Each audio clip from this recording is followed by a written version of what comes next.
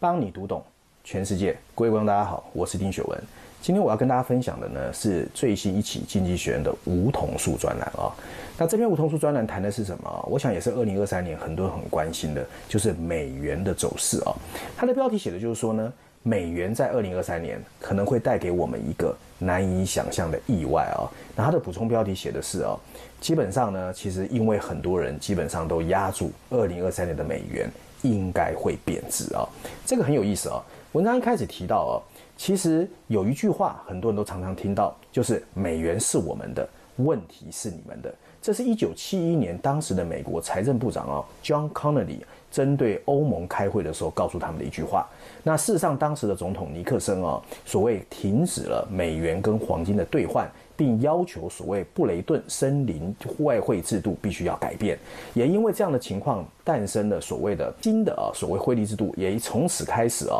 这个汇率制度不再是由所谓的密室交谈，而是由市场决定啊。那从那时候开始，其实美元也贬值了大概百分之十左右。不过呢，在二零二二年，我想大家都知道，美元其实造成了很多国家的恐慌，尤其包括日元、包括台币，其实都有贬值的这个压力哦。在去年第三季末的时候，那当到第四季，我们还好看。到啊，所谓包括 DXY 从创下了所谓针对主要货币二十年来的新高之后，它开始有回贬。所以经过了第四季美元的跌宕起伏之后，我们到底要怎么看二零二三年？经济学告诉我们啊，其实美元的强势其来有自。首先呢，因为美国联总会的持续升息，造成所谓的利差的资金追求逐利往美国去移动，这就是美元升值的第一个原因。第二个原因来自于恐惧哦，因为大家都知道，二零二二年第三季开始，所谓经济衰退的阴影开始出现，俄乌战争也没松散，通货膨胀的压力越来越大，所以很多所谓避险的资金也往美国去移动，这就是所谓的美元微笑。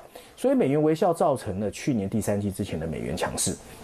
不过呢，为什么经济学人这篇梧桐树专栏提醒我们，二零二三年很多人可能会有意想不到的意外啊？主要原因是呢，最近有一些统计数据出来，你譬如说美国的 BOA 哦，他们去访问华尔街的基金经理人，发现创纪录，大部分的基金经理人都去压住了美元在二零二三年会贬值。那另外，Bloomberg 呢，针对所谓一般投资人的调查，也发现大部分的人几乎都压住美元在二零二三年会走弱。哦那事实上，大家到今天为止可能不知道每天有高达六点六兆的美元的货币跟美元是在对坐的啊。在这样的情况之下，大家都知道啊，交易越多，其实涨势越强。所以，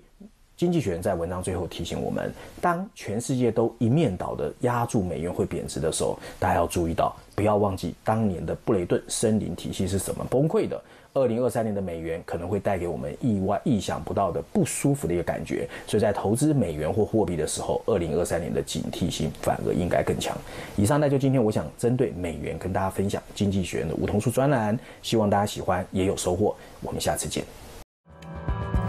我是叶明，想要看到更多更及时的新闻内容，请订阅华视新闻的 YouTube 频道，并且按赞、开启小铃铛。